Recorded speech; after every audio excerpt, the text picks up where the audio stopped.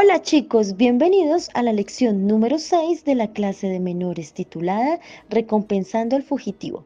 Pablo exhorta a los dueños de los esclavos. Nuestra cronología bíblica la encontramos en el Nuevo Testamento, cartas a personas e iglesias, Filemón 1 al 22. Nuestro versículo para memorizar. Si al llevar tu ofrenda al altar te acuerdas de que tu hermano tiene algo contra ti, deja tu ofrenda allí mismo delante del altar y ve primero a ponerte en paz con tu hermano. Entonces podrás volver al altar y presentar tu ofrenda. Mateo capítulo 5, versículo 23 al 24. Nuestro mensaje, servimos a Dios cuando reflejamos su amor incondicional hacia los demás. ¿Has pensado alguna vez en huir de tu hogar? ¿Cómo sería? ¿A dónde irías? ¿Qué harías? Onésimo estaba en esa circunstancia. Él huyó de su amo y era un pobre y hambriento fugitivo cuando conoció a Pablo. Onésimo se había metido en un serio problema. No era solamente un esclavo durante el imperio romano, era un esclavo fugitivo. Para empeorar la situación, era un esclavo fugitivo que había robado a su amo. Onésimo era considerado como una propiedad y su dueño podía hacer con él lo que quisiera, torturarlo y hasta matarlo. No estaba prohibido por la ley. El maltrato de los esclavos romanos por sus amos estaba bien documentado y las perspectivas para alguien en la circunstancia de Onésimo eran muy sombrías. Sin lugar a dudas, se había dirigido a Roma para alejarse lo más posible de su amo en Colosas. Quizás pensó que 965 kilómetros al otro lado del mar Mediterráneo era suficiente distancia. Roma era una ciudad grande y sería fácil perderse entre el tumulto. Onésimo probablemente había gastado todo lo que había robado a su amo para llegar hasta allí. Sin dinero, sin amigos y atemorizado. Onésimo conoció a Pablo. Pablo estaba en Roma, bajo arresto domiciliario, fue allí donde Onésimo se convirtió al cristianismo. En eso estaba su última esperanza. Su amo Filemón era un cristiano que conocía a Pablo. Es interesante notar que aunque su amo era cristiano, aparentemente las condiciones en la casa de Filemón eran lo suficientemente malas como para causar la fuga de un esclavo. Y Onésimo se convirtió no por la fuerza de su amo, sino por la de Pablo. Prisionero en Roma, a cientos de kilómetros de distancia. Pablo apreciaba a Onésimo. Ahora que Onésimo había confesado sus pecados y estaba arrepentido, se convirtió en el mejor amigo de Pablo, cuidándolo y también trabajando con él para compartir con los demás las buenas nuevas de la gracia y el perdón de Dios. Aunque Pablo no quería separarse de Onésimo, le aconsejó que regresara a su amo y le pidiera perdón.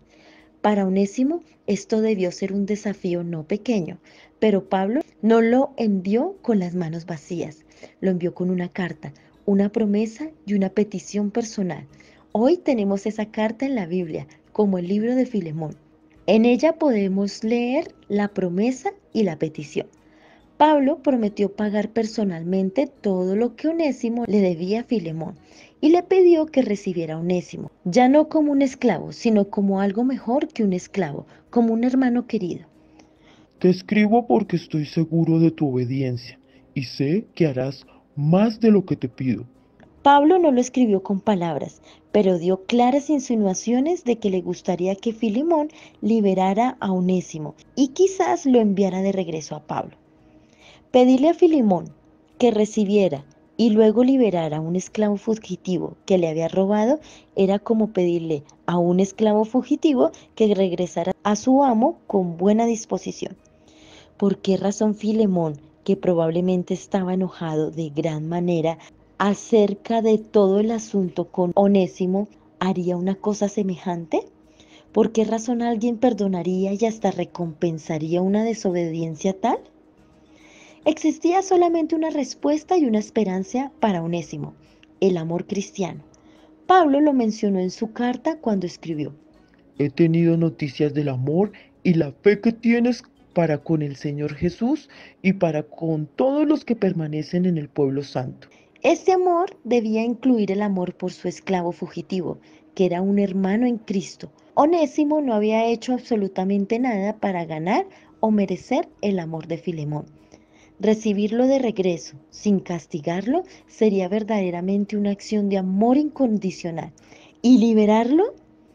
Eso desplagaría a plenitud el cristianismo de Filemón y demostraría a los demás el amor y perdón que Jesús mostró por todos nosotros. El amor de Jesús y su muerte fue la mayor muestra de amor incondicional. Y ahora Filemón tenía la oportunidad de mostrar el mismo amor y el perdón a Onésimo.